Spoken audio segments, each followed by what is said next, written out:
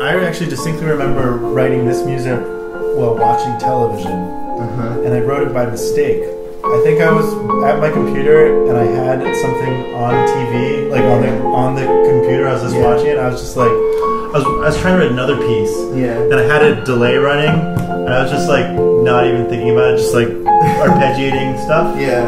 And then This this is what came out. came out, and I was like, whoa, I really like this. This is really pretty. Yeah. And so then that was in like 2010. And then like two years later, I had this commission to write this this piece for piano four hand and string quintet, Uh huh. and I I decided to use that piano idea, and I ended up writing this piece. Right. So Yeah. the first two minutes is just the piano doing it, and then I just wrote the string part that comes in on top of it.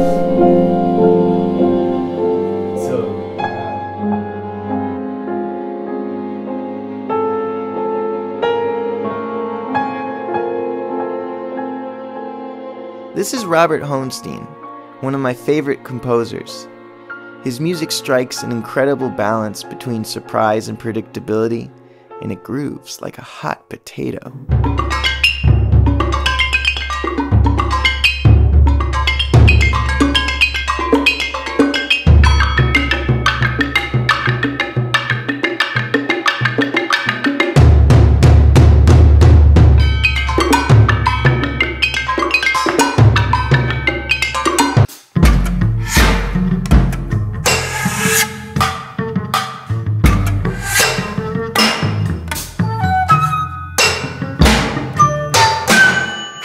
Composer collective Sleeping Giant teamed up with the chamber ensemble Eighth Blackbird and made an awesome album called Hand Eye, which was one of my favorites of 2016.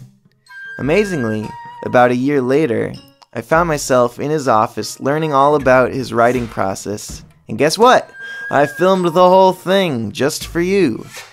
I hope you enjoy. Robert is very humble when he talks about his intuitive and free approach to composition, but when you listen to his music, it's apparent that he's got mad skills and he really knows how to connect with a listener.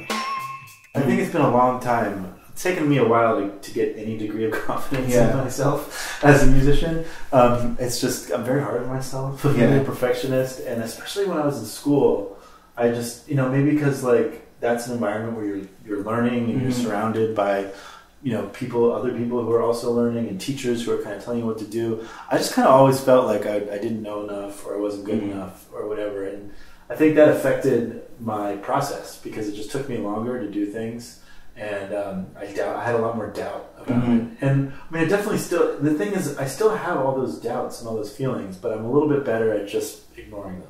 Yeah. You know, when I need to. What are the what are some things you really doubt while you're writing? Like, is it what are some of like the existential um, man. threats? yeah, I wish my wife was here because she can talk to you about it. She's my the first person I talk to, and I, t- I swear to God, she's so sick of me.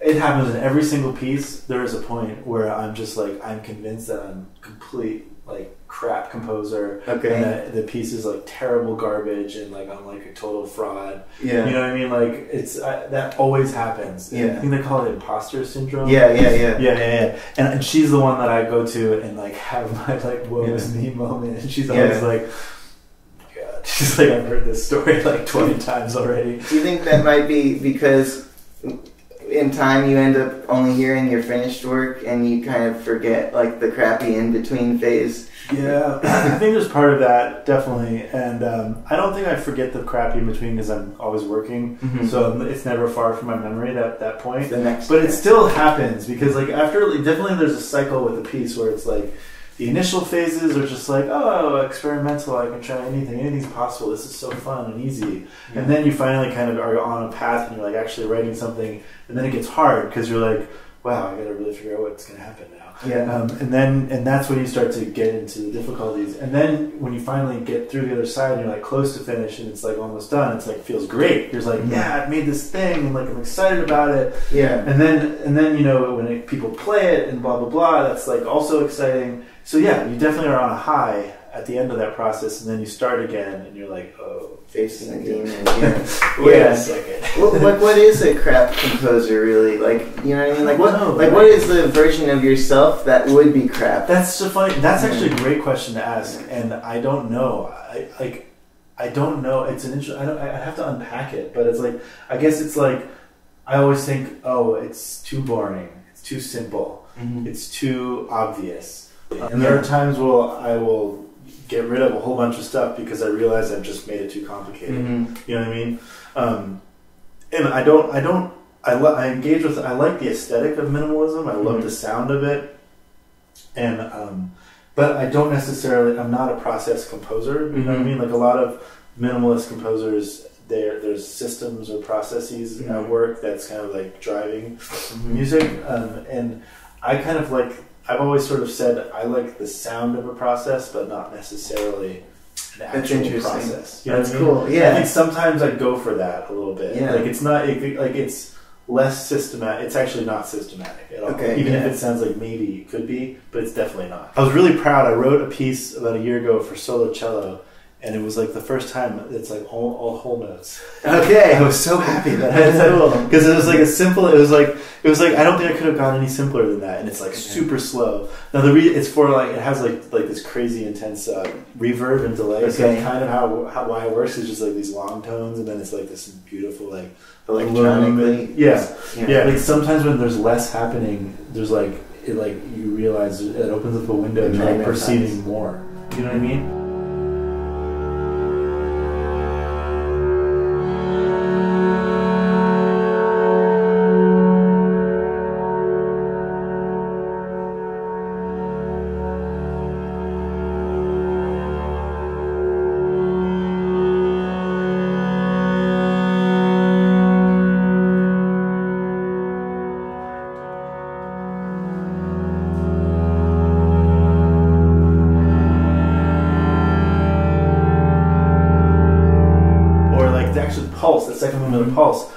If you look at the score, it is all white notes. Right. It's 100. There's no no sharp or flat at all. It's just white notes. Yeah. And it's actually very repetitive. You know what I mean? But some slight changes happen, and and, that, and that's I love that area of like where you where it's like you you it's almost like you don't change, but you kind of change just enough Mhm. to keep the ear like perked up. You know yeah, I mean? well, that was the that was the the piece that that um, made me contact you. Oh, Uh, right. Yeah, like I listened to Pulse on an NPR Tiny Desk concert, or concert where uh, Eighth Blackbird was Yeah. playing. I'll link to that in the description.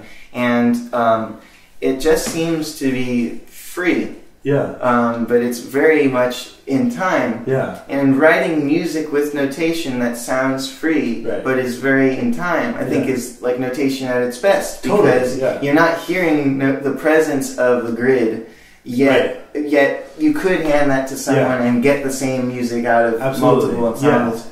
And yeah, like just you have groupings of seven over groupings of five over groupings of six, and it doesn't sound like what if I put seven over six over No. five? It's Yeah. just beautiful, and I can't. I still can't believe how they how they can count it. Like it Yeah. seems really difficult, but It's hard, but they do it effortlessly. Yeah, I mean, I think it's just one of those things that you, as a performer, you just practice. You know, Mhm. um, if if you put your mind to it, you you can definitely learn how to play seven against Mhm. six, against five, Yeah. against four.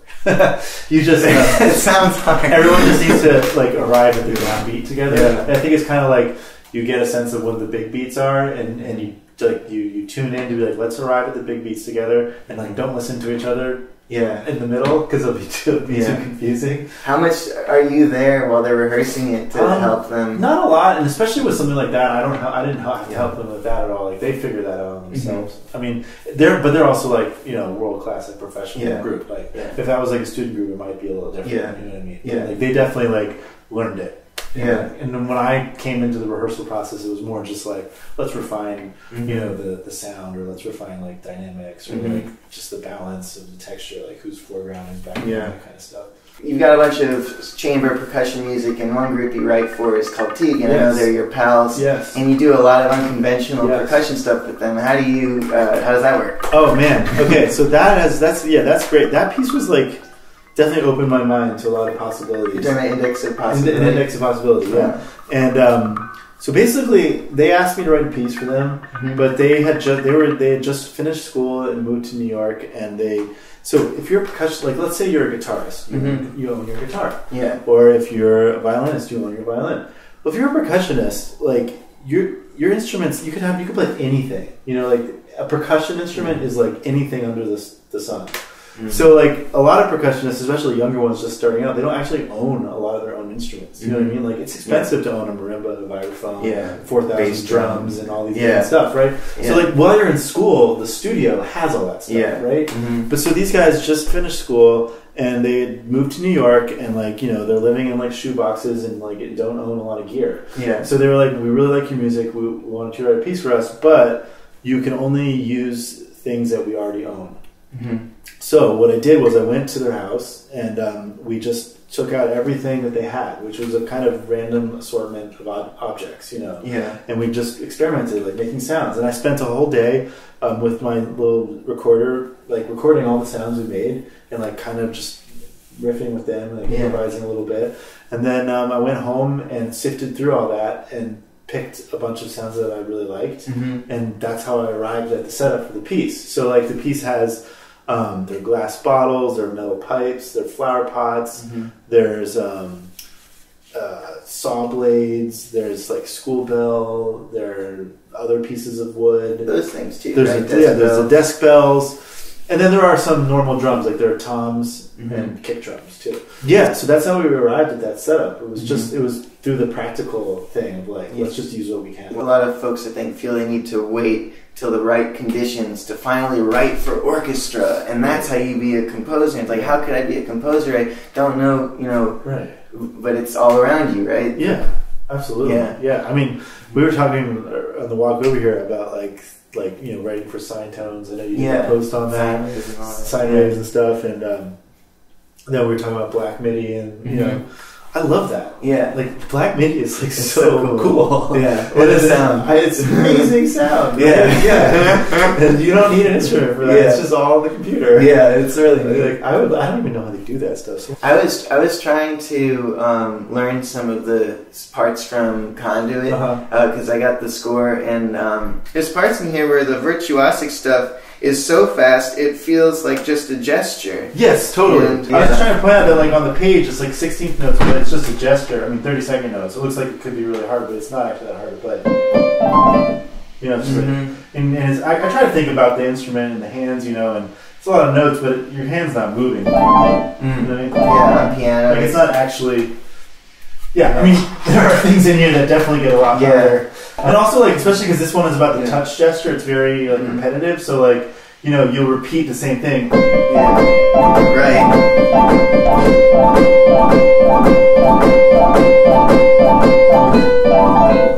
Yeah, that's the idea. There you go. There you go. I checked all my email. Yeah. Bad news.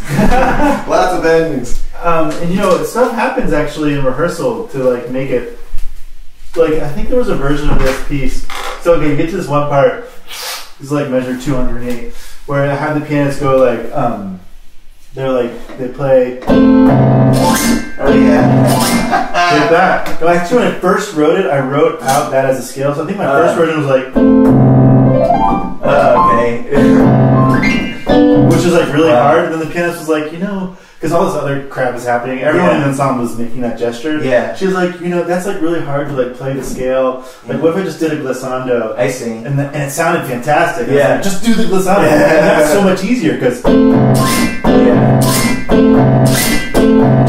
like, you know, it's, Yeah. it's just physics. It's not actually that hard. It's, you know I mean? it, it seems like the line is all about the range and the space Right, and the rhythm. And Yeah, exactly, yeah. When I use notation, it's Right. kind of blocky. Uh, you know, yeah. and that's really my problem. It's not Yeah. a pro- it's not actually a limit of notation. It's just I think you have to be better at notation to avoid blockiness yeah. than you would if you just record when you write. right. Um, right. Yeah, whereas when you record when you write, you're limited to what you can play Right. or what you can produce, and, Right, right, right. and when you notate, you can explore this like much more vast and much more yeah, like. I can't playing. play most instruments in this piece. Yeah, and, and yet it sounds very cohesive and awesome, and you got that. And what it turned out, a lot of the stuff that I heard that was so free sounding was time signatures changing measure by measure. Right. And yeah, the- that happens especially like yeah, the last the last movie, yeah. all the time. So the in send Yeah. the the it it all it doesn't sound like someone going one two one two three one two three four Right. five six seven one two three four five one two three one two.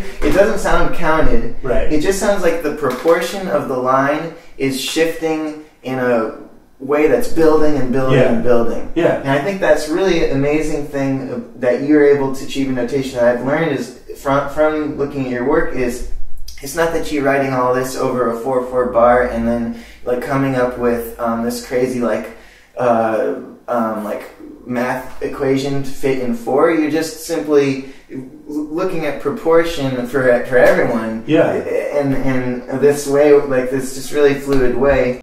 Um, yeah, that's actually really interesting that you noticed that this idea of like the the way the movie it's like about ideas having their space, like give ideas expanding or contracting, and Mhm. like the the fluidity of that. Yeah. That's one hundred percent how I compose. Because like I um, write, I have an idea, and I write it, and then a lot of times the way I'm like refining or developing an idea Mhm. it's just a process of like listening and then feeling, you know, the energy wants it to go a little further. Mhm. So then I just expand it a little bit, and and you know, and then there's the next Yeah. phrase, and it's really just about trying to listen to the energy of the phrase. And if it feels like it wants to push a little more, I'll let it do that. Or if it feels like you want to get back, pull back a little more, I'll let it do that. So Mhm. I'm not tying myself to any kind of like struct like meter structure. Yeah. I will have the I will change the meter to follow what I feel is the energy of the idea, not vice versa. All kinds of music that I like from all kinds of different genres. There's a sense of like action and reaction. Yeah. You know, like if you're listen, if you're in a band, or if it's a, or if it's a jazz ensemble, or if it's like a, a chamber music thing, Mhm. if you're playing with other people and you're really listening well, you're always responding Yeah. to what's happening around you. And so I like that idea of like some sound happens here has a, a consequence somewhere else. Mhm. It's really important to me. Just this, it's almost like like the physics, like Yeah. uh, the second law of thermodynamics. for a reaction, there's an equal and opposite Yeah. reaction. And I sort of think that's basic principle is functions in like ensemble playing, music ensemble playing, like any style. It's where momentum comes. from. Yeah, yeah. So I try to, I have to write that in. Yeah, that and that's something um, that I've felt strongly in Book of Hours, uh, which is a choral a piece for a choral and um, what would you call it, chamber orchestra? Chamber orchestra, like eight, eight instruments, eleven instruments, eleven instruments and eight voices. And- wow, yeah, so like pretty epic, Yeah, and uh, I felt like that that was the um, role of dynamics in that piece because to me that's a piece about loud and soft, uh huh. and um, and And and I thought about the harmony as Yeah. like the harmony is what pulls you through, yeah, and the dynamics are what make you feel the um, impact of the harmony.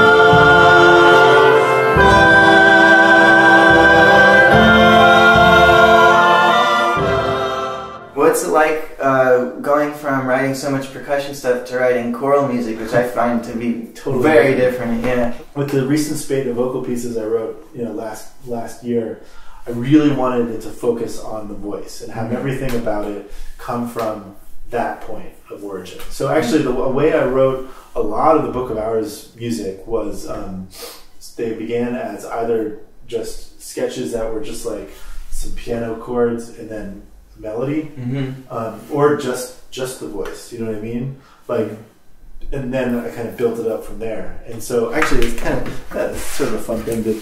Oh no, this isn't a Book of Hours piece, but this was the piece I wrote bef- right before the Book of Hours.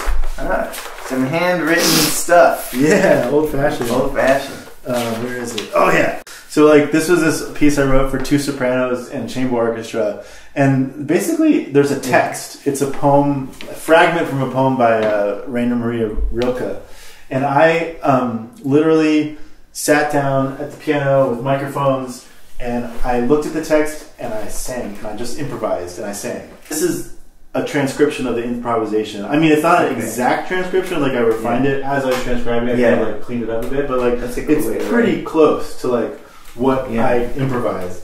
Um, and and the reason I did it that way is because I just wanted to respond to the text. Okay. I wanted to have the text, and I wanted to Mm. see what just Yeah. came out. I just made all these like recordings of myself. Like I put the words up on the piano, Mhm. and then I would like be playing and singing, and I record it. And sometimes it's just like random ass stuff, like.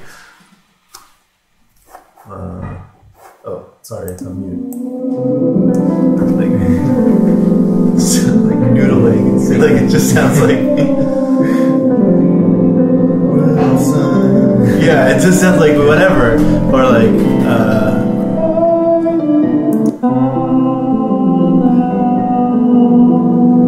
yeah, like I don't know, it's just random stuff. Yeah. But then sometimes um, I get pretty close actually. So we were just talking, we were just showing, talking about like there's this one movement where the final product was like uh, really actually quite close to the demo. So like here's an example. This was a movement um, where the text was "I am much too alone in this world, um, but not alone enough," and um, which is a really amazing line. yeah. Um, so anyway, so this this is like a demo where I was just again at the piano and singing along, and so I'll play like the before and after, kind Cool. of like the first idea, and then we can play a little bit of what it ended up sounding like. Hell yeah.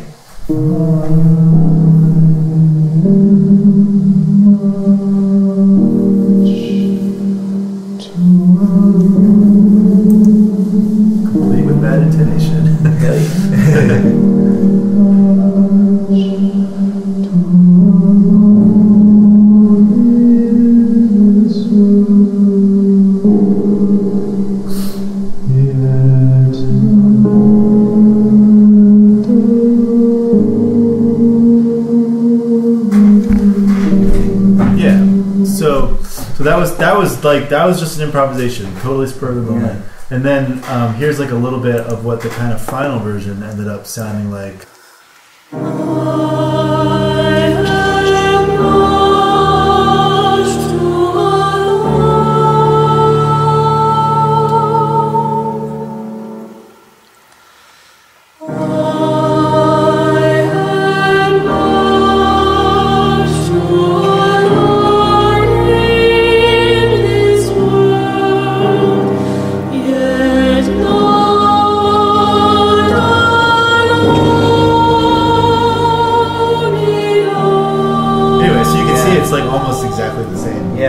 And it doesn't like that. In in a case like that, I feel like I just kind of got lucky. Yeah, yeah. You know what I well, mean? Well, there's some sort of well refined intuition you have from doing Yeah. this for so many years that that kind of plays itself out. Yeah, totally. You also know a good thing when you hear it. Right. Well, that well, so Yeah. so that's we are kind of talking a bit a little bit earlier about like how sometimes I doubt myself, like I think it's too simple, Mm-hmm. and blah blah blah. This was a case where I was like, I doubted a little bit. I was like, man, this is really simple. It's just like a melody and like like just whole notes, chords.